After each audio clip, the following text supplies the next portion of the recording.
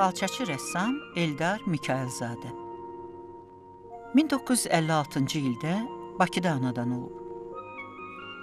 1975-ci ildə Əzim Əzimzadə adına Bakı Rəssamlıq Məktəbinin Rəngkarlıq fakültəsini, 1983-cü ildə Azərbaycan Dövlət İncəsənət İnstitutunun Dekorativ Tədbiqi Sənət fakültəsini xalçaçılıq ixtisası üzrə bitirib. 1984-cü ildən xalçaçı rəssam kimi peşəkar fəaliyyətə başlayıb. Müəllifi olduğu Yaranış xalçası Frankfurtda keçirilən beynəlxalq sərgidə qızıl medala layiq görülüb. Əsərləri xarici ölkələrdə şəxsi kolleksiyalarda saxlanılır.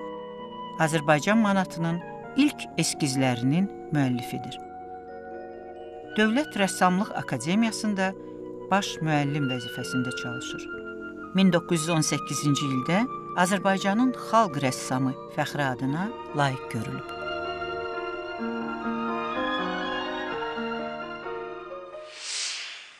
Təxminən 9-10 yaşım vardı.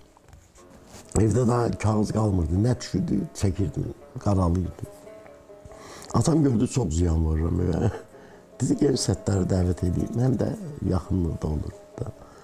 Əgər bir şey çıxacaqsa səndən, eyb yox, dözmək olar. Yox, onda bu qədər kağız, karandaş, rəng xarab edilməsin. Rəhməti gətirdi, çağ dəvət elədi. Gəldi, baxdı. Hə, dedi ki, yaxşıdır. Yaxşıdır. Bu yaxınlara etüdə gedəndə mənzərə kimi gəl aparacam sən özünü. Hə, bir, bir 5-10 gün keçib üstündən gördüm, bazar günü səhər tezdən də pəncərə döyüldü. Bu qədimdə pərdələr vardı. Pərdəni çəkdim səttardı. Dedi, hə, düş aşağı geri mənzərəçi, mənzər yapayım. Etüdən. Hə, bir dənə də öz etüdnikini götürüb, o ayaqlı rəssamların etüdnikləri, kətan götürüb. Mənə üçün bir dənə balaca ayaqsız etüdnik gətirmişdi kartonla, ağ kartonla. Ha, onu da verdi mənə, de gedək. Gəldi, Əmircanda Şor göl var, onun kənarına. Bu Etçinik'in açdı kətanın qoydu, üzü bak indi, o Axrazin deyirdilər, indi Bakıxanov qəsəbəsi o tərəfə çönlərdi. Bir 15-20 dəqiqə heç nə eləmir. Mən də arxada açmışam, gözləyirəm ki, ustad başlasın. Baxdı, baxdı, birdən götürdü Etçinik'ini çöndərdi üzü Əmircana tərəf. Mən də arxadan çöndərdim Əmircan tərəf. Bu elə qəzəbləndi ki, Hirsləndi, gəldi, bir dənə bir təpik də vurdu, kartonmuşdu, getdi. Nə fırlansan dalınca? Mən öz toçkamı axtarıram. Öz sevdiyim toçka, hansı, o deyən kimi deyirəm də, hansı toçka mənim xoşum, mən onu axtarıram. Sən də öz toçkanı axtar. Əgər tapsın səndən rəssam olacaq, tapmasın şəkil çəkir. Mən onda uşağam da, əlbəttə mənim çox xətrimə deydi, biraz şey ki, o təpiklə vurmazdı. Amma illər keçəndə gördüm, o sözdən desəydi, bəlkə yadımda qalmazdı. O təpik elə həkk elədi mənim beynimə ki, nə mövzu işləyirsən işlə. Əgər öz toskonu tapa bilirsənsə, öz baxışını o mövzuya, ya tarixi hadisəyə, ya mövzuya, ya bir təbiətə, hə onda başlamaq olar.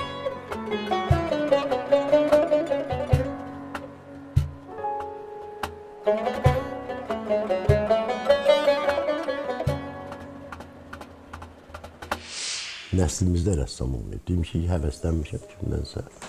Sadəcə yəqin ki, Allah, Allah Taala ilə bağlı, yaradıcı ilə bağlı bir şey. İnsana içinə o sevgini, o həvəsi qoyur. Hə, ondan sonra onun bərkinməyi, özünə inamı gətirməyi ustadlar ki, Səttar Bəhvzadə kimi, Hafiz Məmmədov kimi, e, Lətif Kərimov kimi sənətkarlar səndə inam yaradır. Mən Əzimzadə oxuyanda bir bir işi iş elədim, sərgi apardım qoymağa. O vaxtda belə bir qanun vardı, mən bilmirdim, amma o qanun həmişə olub bu vaxt. Ki, tələbələrin sərgidə iştirak etmə ixtiyarı yoxdur. Tələbə istəsə, qutarandan sonra Respublika sərgilərində iştirak edə bilərsən. Dedilər tələbəyə, şimdi vurdular qoltuğuma, dedilər, olmaz. Mən də cavan uşaq, qanım qara, gəldim, həmişəkin dərsdən çıxdım, gəldim Sətlərin imatxanasına. Deyiniz, qanun qaradır. Deyirəm, bəs apardım sərgiyə, işimi götürmədilər güldü. Deyir, oğlum, mən artıq əməkdar rəssam idim. Bu yeni üsluba keçəndə bunu çox incidir. Demək, üç il demək olar ki, zülm elədilər. Qoymadılar ki, mənim sərgimdə işim olsun. Ya işim alınsın. Hazır deyirlər, istəyirdilər ki, mən əvvəl kimi Sovet sosialist realizmində keçim, realizmdə. Deyir, mən 3 il dözdüm buna bilirsən nəyə görə? Çünki mən içimdə bilirdim ki, səttaram. Və mən nə edirəm onu başa düşürdüm. Deyir, Füzuli də bilirdi kimdir. Xaqani də bilirdi kimdir. Bilməsə sınar. Sənətkar bilməsə kimdir, nədir, o sınar. Amma onu dilə gətirmək günahdır. Sən bilməlisən ki, sənət böyük sənətkarsan, amma onu deməməlisən. Desən günahdır. Amma bilməsən də sınarsan. O 3 il mən deyir, pulsuz qaldım, işimi almadılar. Gəldim axşam hamı kimi məndə Respublika sərgisi orada ildə bir dəfə. Oradan işləri alınırdı, rəssamlar oyla dolardı. Deyə axşam ya işimi mən də asırdım, bir iki işimi. Gedirdim səhər gəldi açılışa. Dövlətdə ya hansı gəl görməmişlərim yoxdur. Çıxardım, qoydular kənara. Sən indi bir dənə sərgidən qaytarılır, sınmısan, deyir, qanun qaralı. Əgər sənin içində varsa, olacaqsa olacaq. Heç darıxma yenə deyir. Hər şey gələcəkdə görürük.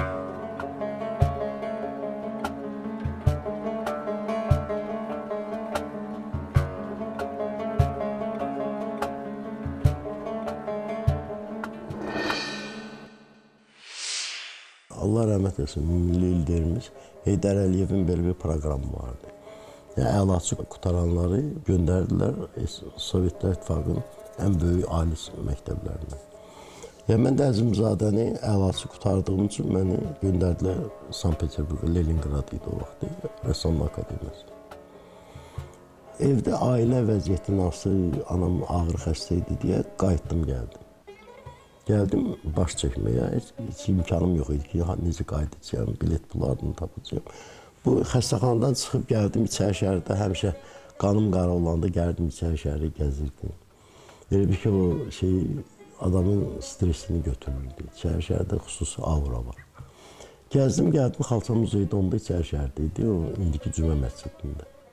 Hə, girdim ora, nəri xalçalara baxırdım. Xalça məndə hamı kimi məişət əşyası kimi baxırdım ya. Böyük bir sənət kimi tanımırdım. Hə, gördüm Lətif müəllim gəlir. Lətif müəllim bir salam verdim. Dedim, mən özüm xoşlayıram da. Özüm isə evdə naxırsat çəkirəm elə belə. Amma başım çıxmıyor. Bir dənə də qılınc düzəltmişdim. Ağacdan, metaldan. Hə, bir dənə də qılınc düzəltmişəm. Dedi, sabah komissiya da burada. Götür gəl. Baxım. Ekspert komissiyasına. Mən də götürdüm, gəldim ekspert komissiyasına. Lətif müəllim açdım, qoydum. Baxan kimi dedim, muzeyə alın. Siz təsəvvür, mən bilet pulu fikirləşirdim, necə tapım qayıdım. Birdən-birə mən yaşda, o dövrdə çox böyük pul. 500 manat rubl qiymət qoydu. Dedim, bu muzeyə aldım, indi Xalça muzeyində də qulur. O eskizlərə baxdı, deyə Haçan dedim, biz gedirəm Leningrada, Sankt-Peterburqa, akademiyada. Deyir, nə var ki, qoşulacaqsan onlara, deyir, fiyasko olacaqsan. Yəni, o dediyi kimi deyirəm. Mən bu il xalçasılıq açıram. İnşaat institutunda, xalçasılıq bölmə. Gəl, mən səni götürüm yanıma. Mən çox sevindim, həm maddiyyət çəkdim, həm anamın xəstəliyi, ailədə vəziyyət, həm də Lətif Kərimov kimi ustad. Söz deyən, düzmə başladı. Götürdü bir dənə belə kiçik bir kağızda bir şey yazdı. Dedi, get Azər xalçaya, Aliyə xan var orada, rəy, oranın baş müdürü. Bunu ver ona. Mən də götürdüm, gəldim. Girdim Aliyə xanım, millət mənim göndərib sizə. Aldı, oxudu, güldü. Deyir, bilirsən nə yazıb? Dedim, yox. Deyir, yaz ki, bu yaxşı olandı, yanıma işə götürürəm bunu. Sonra Lətiməm həm Azər Xalçanın baş rəssamı idi, həm də akademiyada işləyirdi. Hə, deyir, geç, geç sənətləri götür. Elə oldu, işimi də aldılar, pulumu getdim, sənətlərimi də götürdüm, gəldim. Elə oldu ki, tamam başqa Allah Taala dəyişdi yolunu. Yəni ikinci ustadım Lətif Kərimov oldu. Yəni öz Azər xalçının yanına götürdü, institutda yanında oxudum. İnstitut sonra akademiya götürdü, elm işçisi yanında işlədim. İstanbulda təsadüfən bir jurnalist sual verdi. Dedi, biz sizin tərcüməyi hala oxumuşuq, siz əvvəl rəngkarlığı qutarmışsınız, sonra xalçanı. Niyə birdən-biri keçdiniz də xalçaya? Deməli, mən başa düşəni, yəni Shakespeare yazıb to be or not to be. Rusca tərcümə olum, bıt ili ne bıt. Azərbaycanca olum ya ölüm. Farsça budu nə bu. Yəni dil dəyişir, amma fikir qalır. Əsas odur ki, rəssamın fikri qalsın. Yoxsa o dil dəyişməklə sən rənglə çəkə bilərsən, iplə toxuya bilərsən, qabiliyyən ya qrafik eləyə bilərsən. Fikrin əgər varsa, deməyə sözün varsa, dilin fərqi yoxdur. Mən sadəcə Avropa dilində danışırdım. Keçdim ana dilində danışmağa. Sonra qəzetlərdə yazır, Eldar Mikayəzadə deyir, xalça Azərbaycanın ana dilidir. Yəni belə də qaldı, mənim də fikrim budur.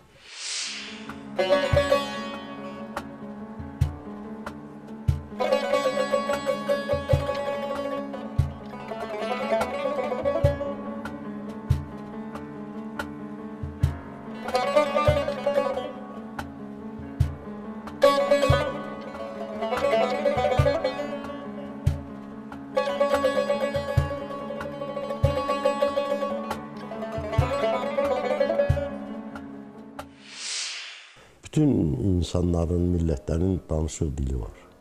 Amma hər millətə Allah Taala bir fəza dili bəxş eləmir. Hansı bir sənəti dilə çevirməyi bacarır. Misirin, Yunanın memarlığı, skiflərin qızılı, metalı dilə çevirməsi, onda bütün xalqın həyatı, arzuları o sənətdə isar edir. Əsrdən əsrə mesajlar göndərirlər. Yəni bizim də baxdığımızda Allah Taala bu xalçanı bizə dil kimi verdi. Bizim xalçalar mən həmişə soruşanda məndən bir kəlmə ilə Azərbaycan xalçalarının dünya xalça sənətində bütün məktəbləri götürsün. Çin olsun, Hindistan olsun, Orta Asiya olsun, Farslar olsun, hamısı. Azərbaycanın bir fərqi var. Azərbaycan xalçası interaktivdir. Canlıdır. Bizim nənələrimiz toxuyanda sadəcə gözəllik üçün toxunur. Yəni gündəlik həyatını ora keçirdim, arzularını ora keçirdim. Məişətində onun üçün dəyərli şeyləri mütləq əlavə edib. Orta Asiya xalçaları. Yəni bir xalçadan minlərlə Xerox-dan çıxmış kimi kopyasını tapa bilərsən. Amma Azərbaycan xalçasının nəinki Quba, ya Şirvan, Gəncə, Qazax, hətta bir evdə toxunan xalçanın, bu il toxunan xalçanın, gələn il toxunan xalçada mütləq fərq var. Yəni interaktivdir.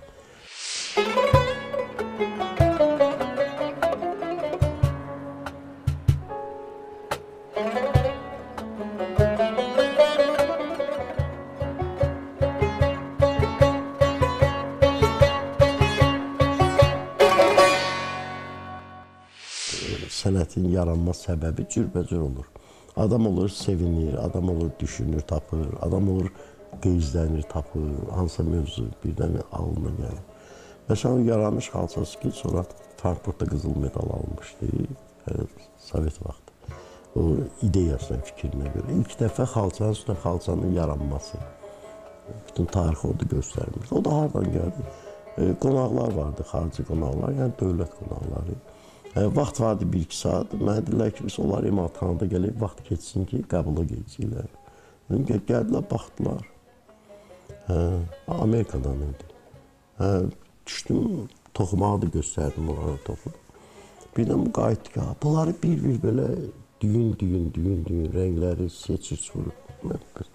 Deməli bildim, ağ toxuyursun, sonra üstünə rənglə çəkirsən. Yəni, biraz qeyiz gəldi. Mən hirsləndim, xalqımız bu qədər əziyyət çəkir.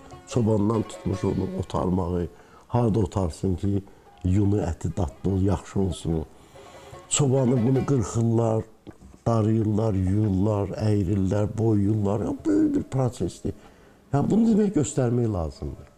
Yəni, oradan sadəcə bir hadisədən yəni, o mövzu ortaya çıxdı. Və xalça necə yaranır və xalça Azərbaycan xalqı üçün nədir? Sonra mövzu xırdalanır, biraz dərinliyinə düşürsən. Misal üçün bir e, millətin dövlət olmağı üçün üç əsas şərtlər deyirlər. Dili, ərazisi və iqtisadiyyatı. Xalça Azərbaycanlıların ilk iqtisadi faktoru olur. İndirmə döviz gətirən, valyuta gətirən. Yəni bu iqtisadi həm də güclü iqtisadi faktor olur.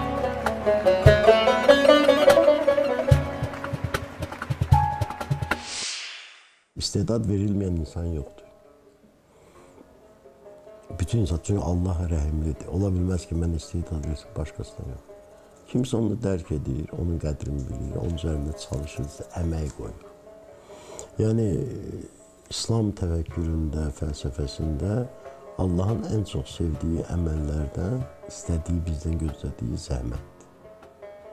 Yəni biz məsələn gedib Kəbədə qara daşı öpürük. Onu daş olaraq öpmürük. O insan olaraq Adəm peyğəmbərin ilk əməyinin simvoludur. Ki Kəbəni tikəndə ilk də o daşı qoymaq. Biz ananın əlindən öpürük, böyüklərimizin əlindən öpürük. O dəri olaraq yox, yəni ki, bunu çiynindən öpsən həmin dərdəm.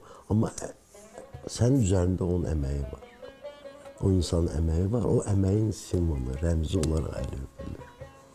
Yəni əmək, zəhmət Allah Taala ən çox sevdiyi insanda olan, ona verdiyi bir böyük bir hədiyyədir. Yəni işte, sadə bir misal bu geoloqlar yəni elə hər yeri gedib qazmaqla neft tapılmaz, su tapılmaz. Gedib biləcən harda. Yəni bir faktor həm biləsən, çünki bilmədən qazsan fəhləlikdir, adi və sadəcə fəhləlikdir. Yox, bilib və qazmamaq israfdır. Allah Taala verir bu hədiyyəni sənə, sən onu istifadə eləmirsən, zəhmət çəkmirsən. İtmiş istedaddır. Allahın verdiyi hədiyyəni qədrin bilmirsən. Hə, o istedadla zəhmət bir yerdə olanda, onda elmdir, sənətdir, hər şey ondan doğur. Allahın verdiyi ilə sənin çəkdiyin zəhmət, sən qoyduğun əmək. Bu ikisi mütləq bir-birindən ayrılmaz, quşun iki qanadı kimidir.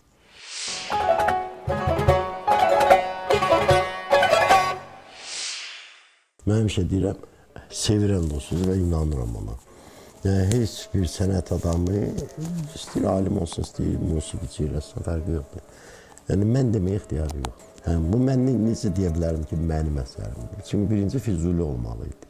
Bu xalçanın yaranması üçün. Füzuli olmasaydı bu xalça olmazdı. Nizami olmasaydı olmazdı. Üzeyir bəy yazmasaydı Leyli Məcnunu mən ilham almasaydım ondan olmazdı. Lətif Kərimov olmasaydı olmazdı. Xalçanı öyrətməli idi. Səttar Bəzadə rəssamlığı sevdirməli idi. Məsələn, bunların artıq mənlə siz bildiyiniz atam, anam o birlər demirəm. Artıq 5 dənə şərik var. Bütün sənət müştərəkdir. Heç kim heç bir sənətkar deyə bilməz ki, mənim əsərimdir. Bu bizim əsərdir, xalqımızın, millətimizin əsəridir. Mən həmişə tələbələrimə də deyirəm, deyirəm, məsələn, biz burada oturmuşuq. Məsələn, ASTV-nin e, dalğaları bizim də evin üstündən keçir, bütün e, evlərin üstündən keçir. Amma onu tutmaq üçün gərək antena qoyasan.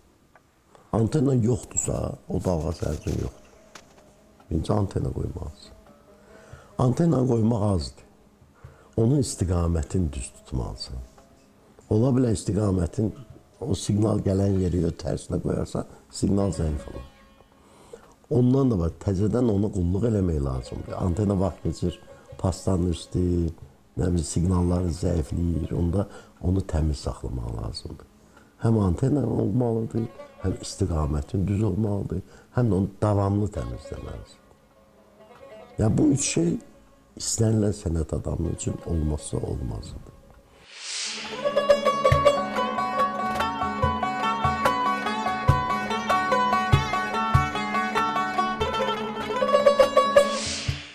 Biz bizdə mədəniyyətlə incəsənəti biz qarışdırırlar.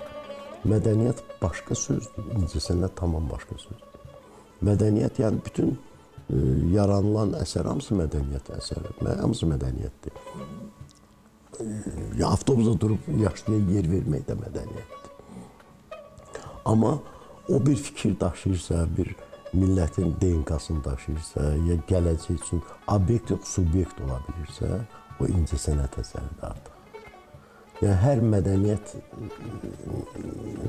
bir əşyası, mədəni əşya ya bir şey incəsənət əsəri olmur.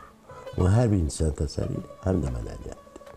Yəni ona görə mən davamlı mütləq Azərbaycan sənəti ilə, elmi ilə məşğul olan bir adam varsa, mütləq Azərbaycan tarixini bilməlidir. Mütləq. Ədəbiyyatını bilməlidir, musiqisini bilməlidir, dilini gözəl bilməlidir. Bir dəfə Səttar Bəhzadə ilə Emalxandan düşdük, axşam çağı idi. Əmircana qayıtmaq üçün. İndi yaşadı idi, oturub skameykalar vardı orada, rəssamlar evinin qabağında. Dedi, oturub 5 dəqiqə dincəlib, sigaretimi çəkib gedik. Oturdu, Bir 5-6 rəssam da bizdən bir 20 metr kənarda dayanmışdı. Deyib, "A, bunları görsən, səhərdən axşamacan qeybət eləyirlər." Dedim, axı oturan yoxdur ki, deyir, işləmirlər. Bunlar da rəssam biraz deyindi öz-özünə. Birdən binanın o başından bir nəfər çıxdı. Belə uzun saçlı, mən də Lətif Kərim o kimdir bilmirəm. Hə, dedim, Səttar mən o kimdir oradan gəlir? Döndü belə baxdı, ya o çox böyük adamdır. Yaxınlaşanda görərsən. Lətif mənim yaxında Səttar, ay Səttar mən əl yazmalar fondundan gəlirəm. Xaqanin bir də əl yazmasını tapılıb orada. Bunu oxudu farsça, tərcümə elədi. Səttar bir dənə Xaqanidən dedi. Bu Seyd Əzimdən, o Seyd Əzimdən, bu Füzulidən, o Füzulidən 45-50 dəqiqə, bir saata yaxın bunlar dəyişdilər. Özü qəzəli deyir və onun açılışını mənası. Mən də balaca uşağı ikisini alsa deyəm.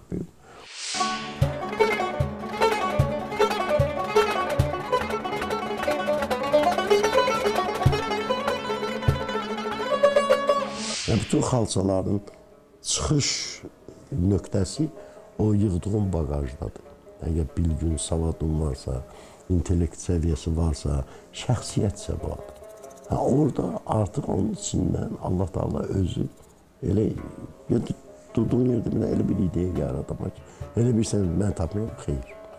O çəkilmiş zəhmətin nəticəsini Allahın verdiyi hədiyyədir. Amma mütləq və mütləq şəxsiyyət olmalıdır, istər sənətkarın arxasında. Məsələn, şərq sənətkarı ilə qərb sənətkarının böyük fərqi. Dünya muzeylərində bir nümunə götür mücrü. Yəni mücrü düzəldir. Qərb sənətkarı da düzəldir, Fransada, Almanya çox gözəl mücrülər düzəldib, şərqdə də. Deyirəm, qərb sənətkarı bu mücrünün altını heç vaxt bəzəmir. Zəhmət çəkmir orada, çünki heç vaxt görünmür. Bu həmişə qoyulanda altda qalır.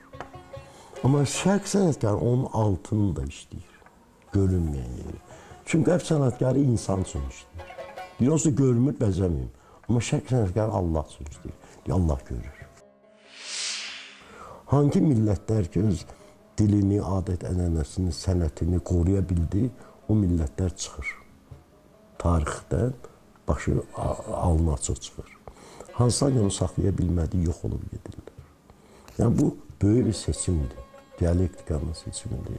Ona görə də bu gün mənə ki, xalça keçmişdi, qədimdədir, kimə lazımdır indi.